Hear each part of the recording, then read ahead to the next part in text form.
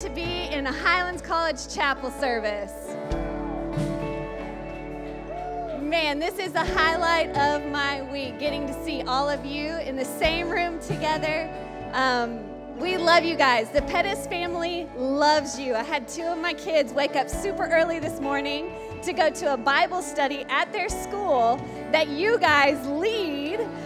Come on and I'm grateful. Um, the school is changing because of you. I also want you to know um, that we had a guest in here in chapel on Tuesday who used to oversee the SEU services, um, their chapel services. And he said, Jill, what you guys have here is really special. And I said, I know, but can you tell me what you see? He said, Your students are leaned in, they're hungry, they come expectant. And so, thank you. Thank you for showing up. Thank you for leaning in. We love you guys. Um, I know it's already been done, but I want to welcome the Discovery Day guests. It is so great to have you with us.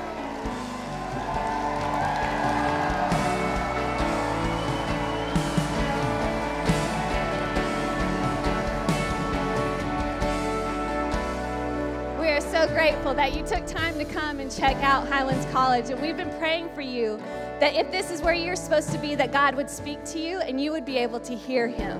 And we just appreciate all of you so much. We've got some other guests in the room. We've got some impact guests with us today.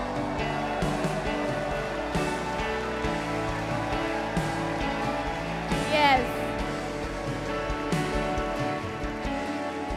College would not be what it is without each of you. We've got um, alumni. Russ Daly is in the room today.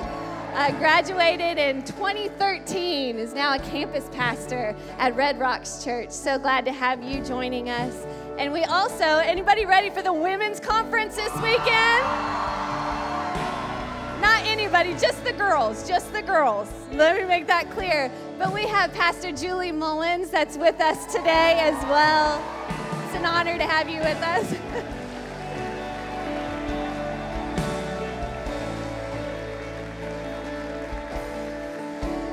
All right, I need to know is anybody ready to dig into God's Word? That's right, that's right. Well, I get the honor and privilege of introducing our speaker today. She says that she is first a wife and a mom of three incredible boys. Now you know why I love her so much. I'm like, tell me all the wisdom.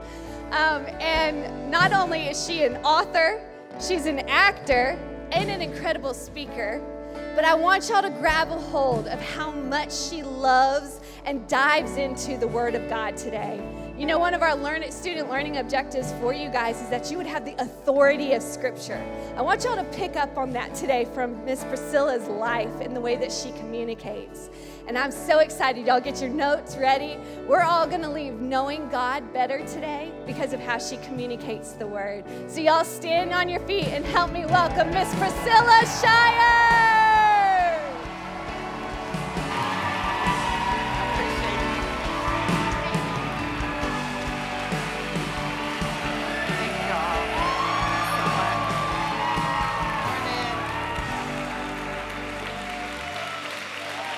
Well, good morning. It's so great to be with you, family. You may take your seats. I'm so thrilled about the privilege to be able to talk to my young brothers and sisters about the things of God. I believe in the power of the Word of God to transform our lives, to change us. I recognize now in hindsight, and I'm going to tell you this and I'm going to pray. In hindsight, I recognize that some of the most trajectory shifting things that the Lord did was when I was exactly your age. You don't know it in the moment. You're just going through the rhythm of what it is that the Lord has assigned to you and the people that you're interacting with and the routine of going to the class or studying or preparing or doing whatever it is that you're doing. And you don't know until hindsight that this is it right here.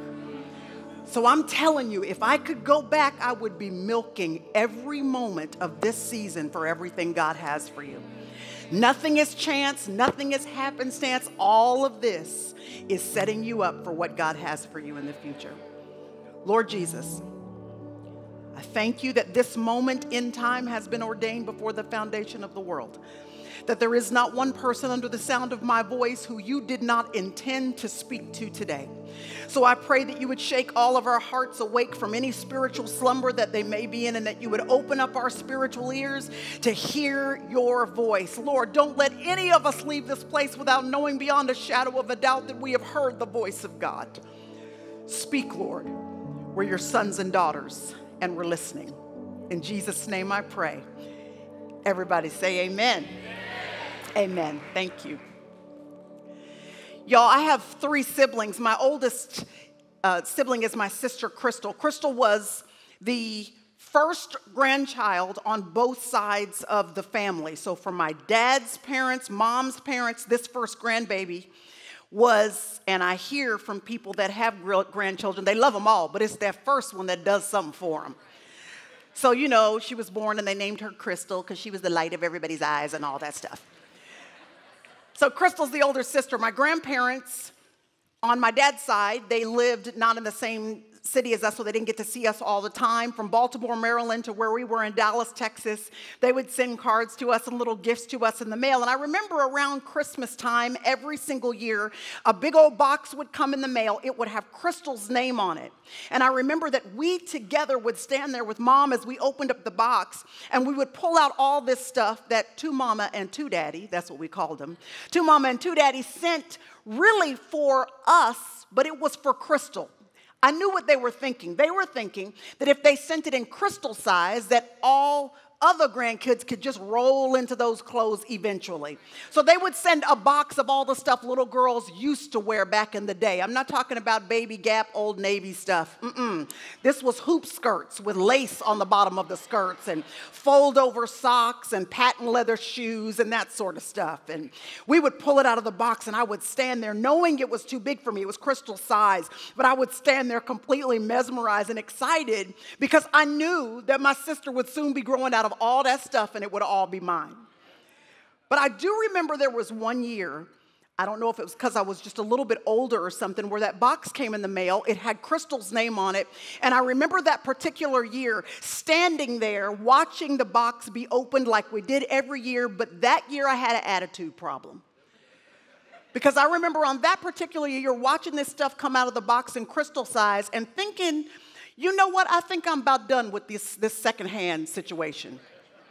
I think I actually want a box to come in the mail that has my name on it, one that has been handpicked just for me. There's nothing wrong with hand me downs, but there should come a time in our life where we grow up just enough where we appreciate the hand me downs, but we would prefer something personal. I want to make sure you know that it would be an injustice to you to spend the entirety, or me to spend the entirety of our Christian lives being spoon fed hand me down revelation. That it is a joy and it is a privilege to have pastors and leaders and shepherds and teachers who write to us and who teach us and who help us to rightly divide the word of truth. But we will always be handicapped in our faith if we are constantly waiting on regurgitated truth from somebody else. There has to be a time where you mature enough, where you appreciate it, but it actually causes a little bit of dissatisfaction because there's got to be a point where you decide the same God who spoke to them is the same God I'm hungry to speak to me.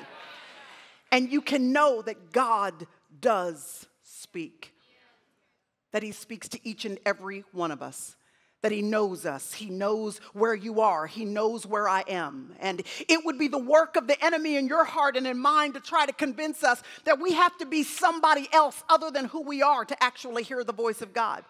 That if we don't have that degree, that if we haven't gone to that church, that if we aren't in that denomination, that if we haven't walked this particular path, and if we don't have this particular background, that we also can't have the joy and privilege of hearing the voice of God because then we'll be handicapped at best in our relationship with Him, in our walk with Him, constantly waiting to be spoon fed, hand me down revelation.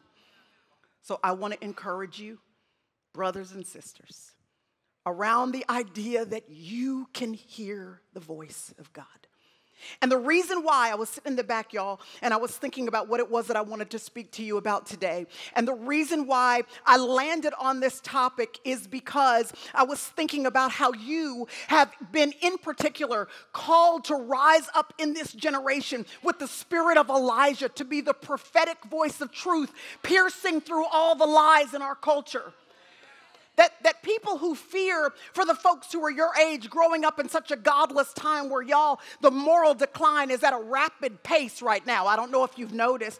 But to really serve God, to really stand up for truth, to really decide you ain't playing no games, that you're going to believe that there is still one true God and his name is Jesus Christ, and that he actually has a standard of truth that doesn't adjust to placate people's emotions. If you decide you're going to be that kind of person, you're going to stick up like, stick out like a sore thumb. You're going to have to have backbone for that. That's what Elijah had. Elijah heard the word of God, and then in the midst of a godless culture, he came and said, Let me tell you what the one true and living God says. He didn't care whether it was politically correct, he didn't care whether people stood with him while he said it. He knew that he was the mouthpiece of God. And in order to speak for God, you got to be able to hear from God.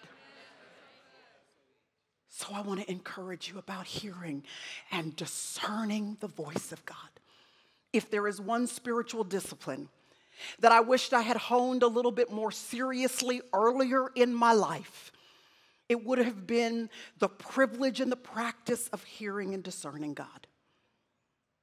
It's a lifetime pursuit. You'll never be perfect at it. It's something that we grow at from day to day, season to season, year to year. One of the clearest places in Scripture where Jesus himself speaks about this privilege that you and I have to hear the voice of the one true and living God is in John chapter 10.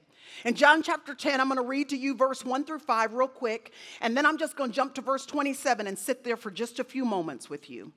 John chapter 10, Jesus says, Truly, truly, I say to you, that he who does not enter by the door into the fold of the sheep, but climbs up some other way, he's a thief and a robber. But he who enters by the door is the shepherd of the sheep. To him, the doorkeeper opens, the sheep hear his voice. He calls his own sheep by name and he leads them out. Sounds like freedom to me. When he puts forth all his own, he goes before them, and the sheep follow him because, oh, listen to this they know his voice. The stranger they simply will not follow. They'll flee from him because they don't know the voice of the stranger. Verse 27. Here's the one liner that if you still actually use a Bible with paper pages, y'all, this right here deserves to be underlined. Verse 27 My sheep hear my voice, I know them, and they follow me. In this one liner, Jesus packs in this principle, this privilege, this discipline of discerning and hearing the voice of God. My sheep, what they do is they hear my voice. I know them and they follow me. Come with me for just a few moments and let's take a little journey. Because you know, Jesus would talk about stuff that oftentimes in our modern day and age, we can't really put a picture around and completely understand because we don't deal with, you know, stuff like wheat and soil and grapes like that. So he'll tell stories about stuff that if we don't put ourselves back in the first century around the context in which he was speaking these words, we can't fully grasp what he was saying. So, for just a few moments, I want you to journey with me to the Middle Eastern sheepfold in the first century time frame when Jesus would have spoken these truths. He's talking about shepherds and their sheep. In Jesus' time frame, when a shepherd was leading a flock, there could be 100 sheep, let's say, following behind one shepherd. And during the day, when a shepherd was leading his flock around to green pastures and to still, refreshing waters, he wouldn't be by himself. There would be about nine other shepherds that would also be leading their flock of 100 with that shepherd at the same time. So you've got 10 shepherd, let's, shepherds, let's say, and about 1,000 sheep that are in and around the same vicinity all day long, meandering around to different pastures. And then in the evening, all 10 would take all of their flocks to one sheepfold for the night. The Middle Eastern sheepfold was a fenced off, a huge enclosed area that was a stone fence line that was about waist high. And in this huge enclosure, there would only be one opening, and the opening did not have a door. All 10 of the shepherds would bring their flocks, so 1,000 sheep are in the fold. Nine of the 10 shepherds would go into the city so that they could sleep for the night, but one would stay behind. And listen to me, he would lay his body across the door, of, across the opening of the sheepfold, and he would become the door for the fold. His actual person, his body was there to lay across the opening of the sheepfold and protect, to make sure there was no stranger, no predator that was coming to take advantage of the sheep inside this fold. And in the morning, when a shepherd would come back from the city so that he could retrieve his sheep, the porter, the doorkeeper, would stand up, look into the distance as the shepherd was coming to make sure he recognized this shepherd as one of the true shepherds of one of these flocks inside. And not until he authenticated that this was a true shepherd would he remove his body from the opening of the sheepfold and let this shepherd pass through. And then listen, the shepherd would come into the sheepfold and he would call his sheep. 1,000 would physically hear the call, but only 100 would recognize the call as having come from the voice of their shepherd. What mattered was not whether or not they were black sheep or white sheep. It didn't matter whether they congregated with a lot of sheep or just a little bit of sheep. It didn't matter whether they were on the south side of the sheepfold or the north side of the sheepfold. All that mattered was whether or not they belonged to the shepherd. Jesus says, My sheep are the ones who hear my voice. The very first thing he points out in verse 27 is the relationship. He says, You want to make sure that you can discern my voice throughout your lifetime, not just in one season and not just in the next, not just in up times, not just in down times, but throughout the entire trajectory of your relationship with me as your shepherd. You want to make sure that you can discern my leading in your life, then you better make sure we have a relationship with each other. You better make sure that you are actually mine. And so here I am at this Bible college to ask you a question Have you made a decision to be in relationship with Jesus? Because you can study the Bible, memorize the Bible, you can be born in the church, grow up in church. They can bring your meals and feed you in the church. They can bring you a desk and let you work in the church. But if you die in the church and you have not placed personal faith in Jesus Christ, you will have not had your own relationship. God does not have grandchildren. It means that it don't matter what your mama and them did. It doesn't matter the faith of your grandmother or your grandfather. I'm so grateful for the legacy of faith that the Lord has given me in my own family. But I, I learned early on that their faith wasn't gonna, going to supplant the fact that I was going to have to make my own decision to place faith in Jesus Christ, to make sure that I had my own thing going on with Jesus. So Jesus says, Would you make sure, if you want to hear my voice, if you want to know my leading, if you want to know what it is to be able to discern the conviction of the Holy Spirit, then you need to make sure, first of all, you have a relationship with Him. So, when I was growing up, I grew up with, you know, the 80s and 90s Christian parents. These were the most Christian of all Christian parents which means we didn't watch a whole lot of TV growing up. There was a whole lot of, uh, you know, kind of strict rules and regulations. And the only time we really had the freedom to watch some TV during the week, it was also because, you know, you got stuff to do during the week when you're growing. You got homework and there's dinner dishes, and we had stuff to do. So they didn't want it to be distracted by TV. We didn't have cable or anything like that. We didn't have DirecTV, none of that, because they didn't want us to waste time on all that, all that stuff during the week. We had things to do, except on Thursday at 7 p.m because on Thursdays at 7 p.m., The Cosby Show came on.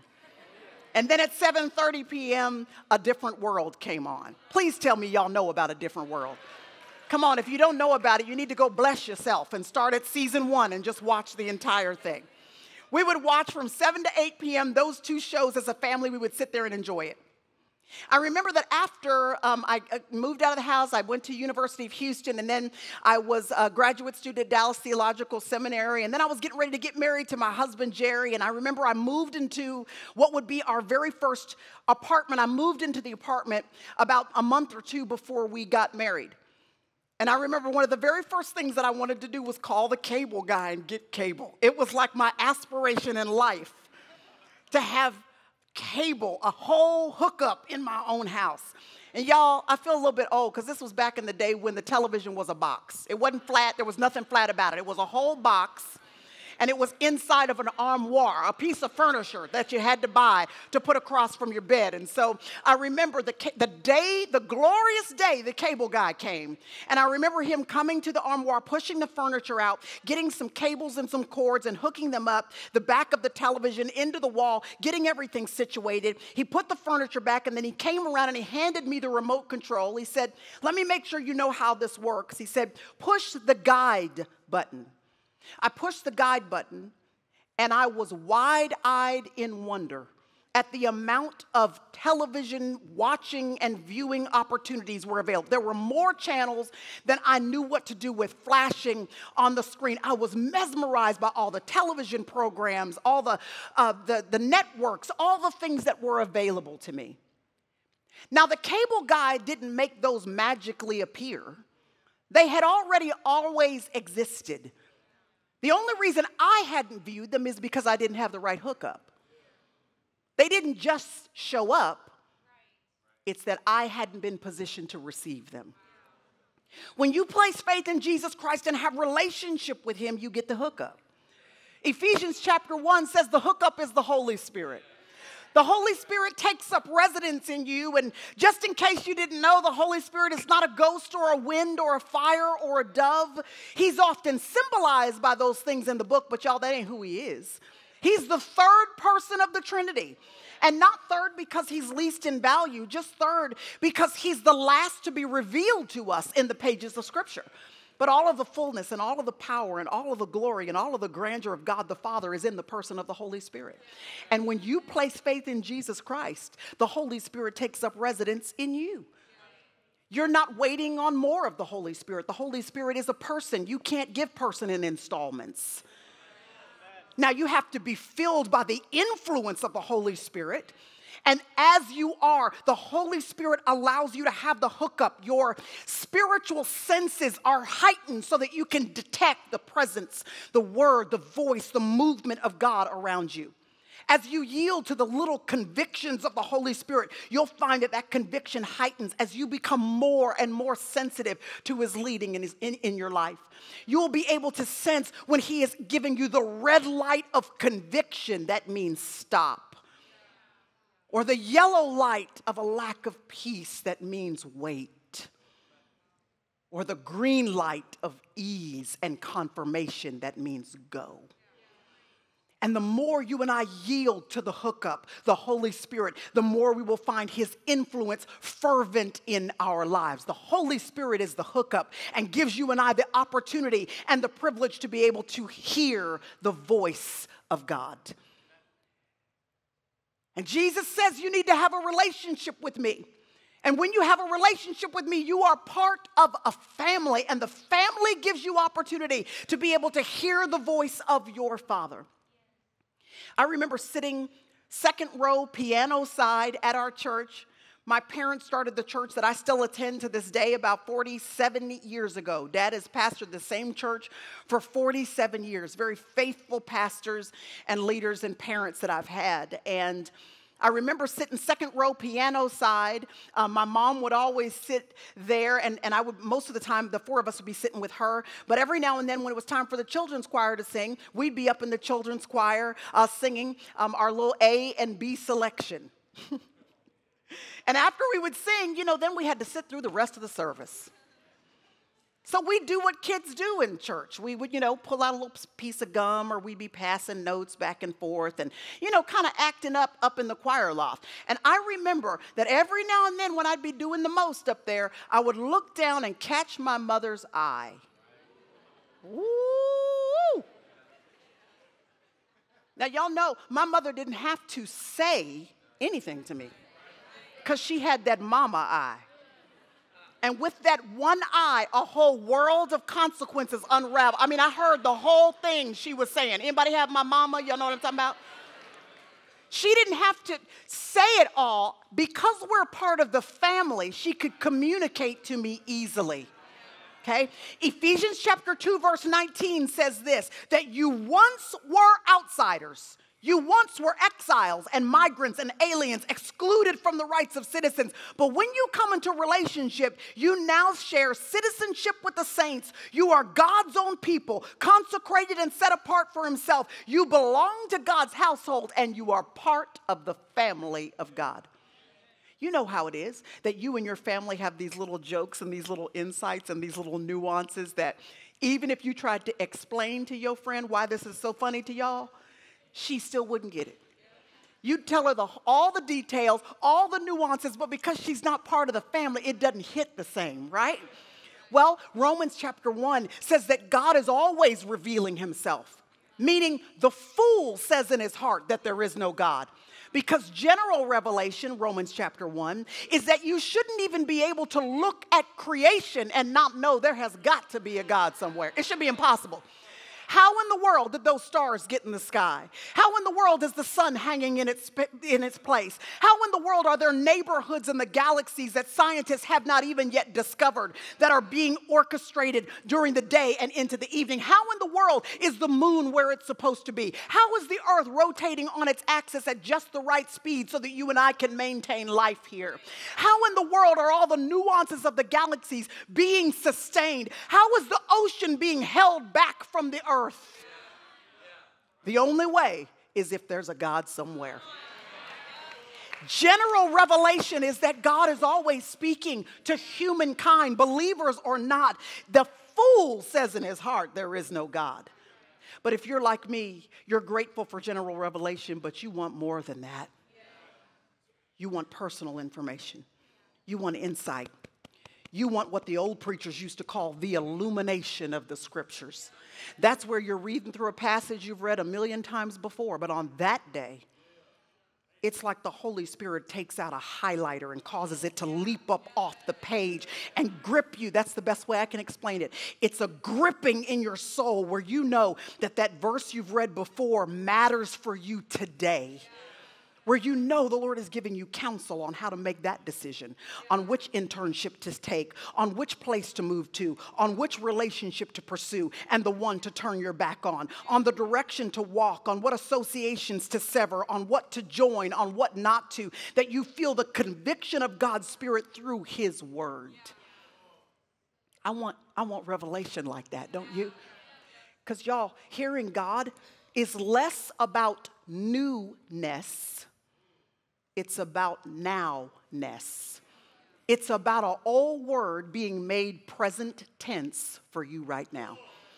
It's when the scriptures just leap up off the page and you know God is talking to you. Okay, you've had this happen because you've been sitting in chapel or in church before, and your pastor opens up the passage to preach, and you feel like you're the only person sitting in the room. You're trying to figure out did the church bug my house? How did they know that this is exactly what I needed for what I'm facing? Anybody know what I'm talking about? Yeah. Or like you're going to have your quiet time, spend a little time with the Lord maybe, and you open up to what just, you know, what you're reading that day, your devotional for that day, whatever devotional book maybe you're in that day, and you open it up. This happened to me yesterday. Opened it up, and my goodness, I just busted out laughing because it was like the Holy Spirit was saying, I know you, girl. I got you. I got you. And see, sometimes when we're sitting in a setting like this and we feel that, like we know it's for us, or we feel convicted rather, a lot of times when we feel that warmth and that gripping and that conviction in our hearts, our tendency is to turn to the person next to us and say, Girl, did you hear that? That's for you. You need to make sure you're listening to that. But when you feel conviction, that's because he's talking to you. It's for you. This is how the Holy Spirit speaks, and He speaks within the context of relationship. Jesus says, My sheep, there's the relationship, hear my voice. This is the result of your relationship. You hear his voice. The reason why I wanted to pause here for just a moment to emphasize the result of your relationship is because you need to know that is the default position of a child of God to hear his voice. It's not a special privilege. It is the privilege given to every son and daughter who has placed faith in Jesus Christ. The Holy Spirit is not given to some, He is given to all who place faith in Jesus Christ. So you and I don't have to have a certain degree before we can hear from God. We don't have to have been raised in a certain environment before we can hear from God. We all have to hone the discipline of hearing from God, but the privilege is already yours. And so the enemy is going to trip over himself to make you believe and me believe that that privilege and that right is for anybody and everybody else except us. But I assure you, the person who you most admire, who I most admire because of the books maybe they've written that have fed us, or the sermons they've preached that have um, taught us, or the ministry that they have been entrusted with that have led us and given us guidance through the years. That person who you admire, the same Holy Spirit who lives in them is the same Holy Spirit that lives in you. So at the same time we thank the Lord for them, we can also sit on the edge of our seat in anticipation that the Holy Spirit of God desires to speak for us too. That we don't have to wait for the next devotional book before we come to the Word of God ourselves and just sit with a couple of verses ourselves and say, Lord, my ears are open. As David said in Psalm chapter 119, he prayed and he said, Lord, would you open up my eyes so that today I can behold wonderful things in your law? So we pray that. Lord, open up my eyes, sensitize my, my heart. Make it so that I'm not indifferent and hardened and desensitized to when the Holy Spirit is speaking to me, so that everything you've come to say and that I have the privilege of hear to hear that I don't miss any of that. Because just like you have five physical senses with which you detect the things that are physical and visible, you touch them, you smell them, you taste them, there are spiritual senses that you have the capacity to detect. The Holy Spirit heightens your spiritual radar so that you can pick up on the presence of God around you. In other words, what other people will say is coincidence, you'll go, that ain't coincidence, that's God right there. Other people will think they're lucky stars, and you'll be like, I don't know what them stars doing up there, but I know that my God is sovereign and providential. that I know He's working all things together for my good. So some people will see it as just coincidence, and you'll be able to say, no, no, no, that was God putting me in the right place at the right time with the right person on the right day and giving me the right opportunity. God was lining that up. You'll be able to detect that the stranger behind you who tripped a little bit and spilled that coffee on you, that that was not a little mistake that you're supposed to be annoyed about, that that's an opportunity for you to be the hands and feet of Jesus, for you to minister to this person. Other people will say it's an interruption. You'll be able to say, uh uh-uh, uh, that's divine intervention. That's God putting me where I need to be to be who He has called me to be. The result of your relationship, y'all expect it. Lean forward in anticipation every single day with your spiritual senses heightened. Holy Spirit, as I go throughout this day, I'm asking you to show me where you're moving. Let me hear when you're speaking. Let me see when you're lining stuff up, when you're doing things that other folks won't even detect. But if I'll just keep my spiritual radar raised, I know you'll open my eyes and open my ears to hear your voice. My sheep, there's the relationship. Hear my voice, there's the result. And then he says, Here's the reason I know them. He says, That's the reason all this works, is because I know my sheep. Now, I called up a friend of mine who uh, works with sheep and cattle. Because I don't know if y'all can tell by looking at me or not, but I'm not really a sheep and cattle kind of sister. So I looked, I, I, called up a friend who works with sheep and cattle. I asked him about this whole idea of the shepherd knowing the sheep. And he said, You know what, Priscilla, it's really interesting. It used to be that way. Used to be that you needed to know your sheep. But you know, technology has advanced. We don't know our sheep anymore. We don't have to. We have electric fences and sheepdogs, and we can brand them and we can put collars on them. We can do the things we need to do and get them to go where we want them to go without having a relationship. But they said in Jesus' day, all 100 knew the shepherd because they walked with him and they talked with him and they were in, in relationship with him. They followed him. They knew his scent, they knew his stature. They were able to be completely aware, one shepherd to the other, because they were with him continually. In fact, they were so intimate with each other that when the shepherd would call out to the sheep, he knew them so specifically and they knew his voice so personally because they spent so much time with him that he could shift the tone of his call just a little bit and call one sheep out of the fold. That's how well they knew each other. But modern technology has changed the need for shepherds and sheep to get to know each other like that. And while modern technology has not changed the Lord's desire to get to know you, if you're not careful and if I'm not, it'll change our desire to get to know Him because we'll just be too busy for that.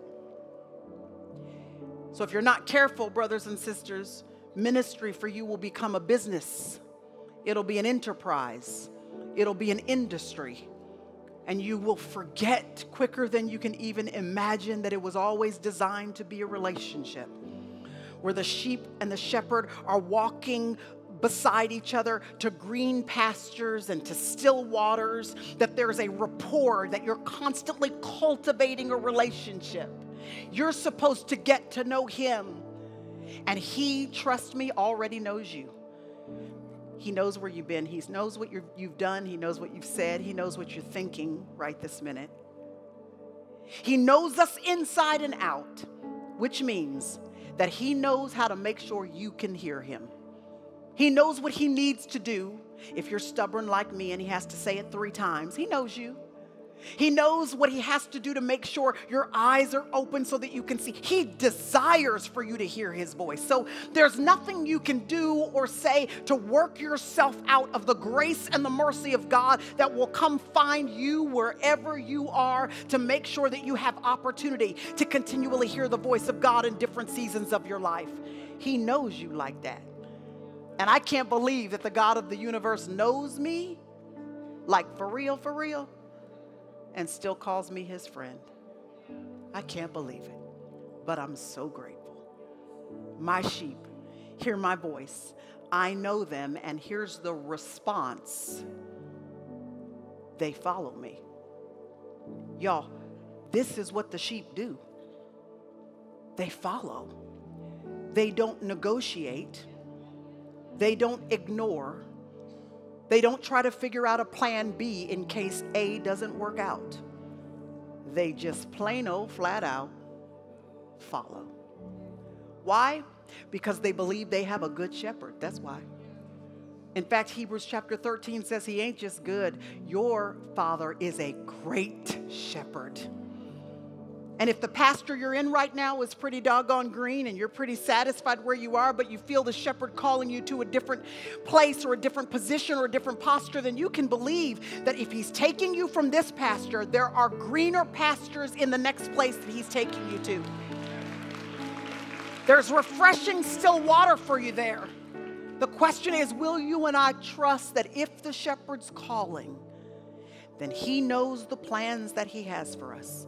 Plans to give us a hope, plans to give us a future, not to fail us, not to harm us, not to hurt us. He will never leave us nor forsake us. If He's calling you, the best response you can ever have is to say, Yes, sir, and follow. I want you to bow your heads because I want to ask you a question, two of them. The first thing I do have to ask you is about that whole relationship business, y'all. Because I do not want to take for granted that just because you are here, you've just anchored in your soul, like you know, know that you have placed faith in Jesus Christ. I'm not going to take that for granted today. So I need you to, to ponder that for a moment. I'm not asking if you've been in church, I'm not asking if you've done a whole bunch of good stuff, ministry activity. I'm asking you have you placed faith in Jesus Christ and solidified your relationship with Him so that the Holy Spirit of God can take up residence in you and you can have the hookup and hear from God?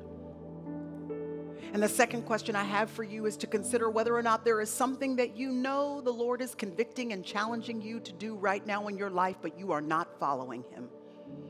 You've been negotiating, you've been maybe ignoring, you've been hoping He'll stop talking to you about it and call somebody else. But you know it's you, and you've delayed obedience. But there is no such thing as delayed obedience. Delayed obedience is disobedience. And so, if you fall into either of those two categories, you need to place faith in Jesus Christ today, or you need to return back to obedience in some area of your life where you know He is calling and you have not followed. If you fall into either of those two categories, would you just raise your hand right where you are so we can pray together? Yes. Anybody else?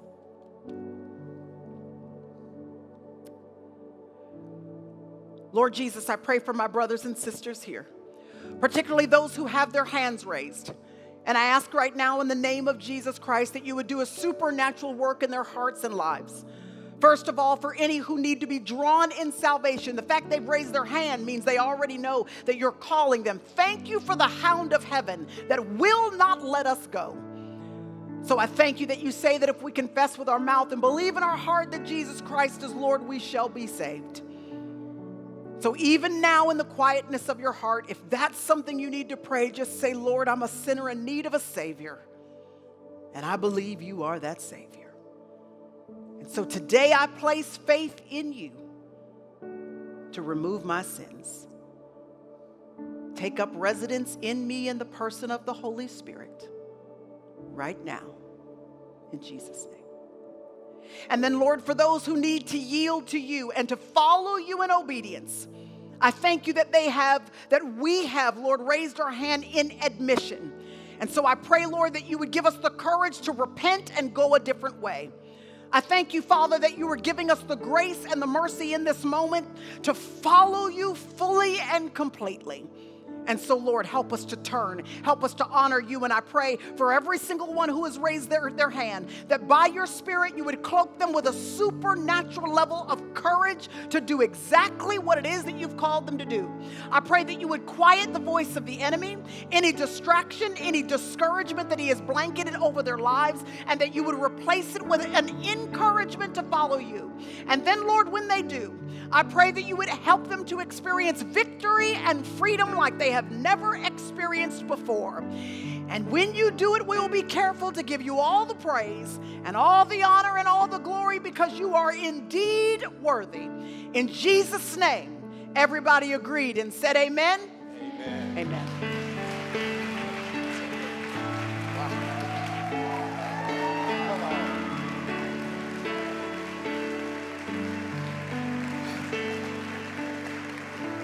It almost doesn't even feel right to come up after Priscilla. Come on, help me honor one more time. Priscilla and Jerry, thank you. What I, what I love about you and even this moment is we can look at someone like Priscilla and think, man, she's just so gifted, and you are. But this is hours and hours and hours and hours and hours and hours and years after year after year spending time with the Lord. That was a command of scripture that didn't come from sermons, that came from her time with the Lord. So I want to thank you and I honor you and your family. Thank you, Mr. Jerry, for being here as well. We love you and your sons. And if you ever want to change churches, come on over. We would love to, we would love to have you. But uh, aren't you thankful for the people that come, for Priscilla and her family? Thank you. And this is just a Thursday at chapel. That's, that's just wild to me. Um, we thank you. Aren't y'all excited for the women's conference? Knowing what you got taste. It's going to be incredible. Um, that's all the announcement that I have for you guys. So, ladies, if you have not yet registered for the conference, make sure that you have done that. Um, it's going to be powerful. And today, students, y'all know y'all go to the food hall for lunch and Discovery Day guests. We have food prepared for you in the lobby. Have the best most blessed day. We'll see you out there. Have a great day.